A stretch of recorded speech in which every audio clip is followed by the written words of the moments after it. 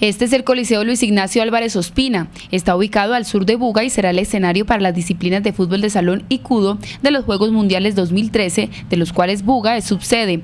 Por ello se están realizando algunas obras de adecuación se están realizando adecuaciones eh, y mejoramiento locativo con el propósito de brindar eh, las todo lo que tiene que ver con la parte técnica y las condiciones eh, mínimas básicas eh, para eventos de talla internacional. Las obras comprenden adecuación y reparación de camerinos, baños, graderías y techos se está terminando lo que tiene que ver el camerino para los árbitros y para, para, los jueces, la dirección de campeonato, ya se tiene adecuado el tema de los baños para las personas en condición de discapacidad. Estamos adecuando zona de camerinos estamos haciendo camerinos 1, 2, 3 y 4, que quedan todos con servicios eh, sanitarios, dos duchas, dos sanitarios.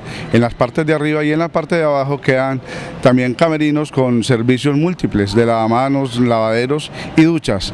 En la parte de abajo también tenemos eh, adecuación de baños. Este coliseo albergará entre el 26 y el 30 de julio a 2.000 personas por partido. Por ello se realizan adecuaciones para ampliar su capacidad. Eh, de unas 2.000 personas más o menos porque en la zona B tendremos un montaje de gradería que lo instala la FIFA eh, en gradería portátil donde van a estar los eh, camarógrafos y, demás mm, personal que tiene que ver con lo del fútbol de jalón. La expectativa de los bugueños porque su ciudad sea subsede de los Juegos Mundiales es muy alta, ya que en Buga hay mucha afición de los deportes de combate y de fútbol de salón. Es un campeonato internacional, son 12 equipos y es un deporte que la gente sabe que es muy emotivo por la cantidad de goles que se ve durante los partidos.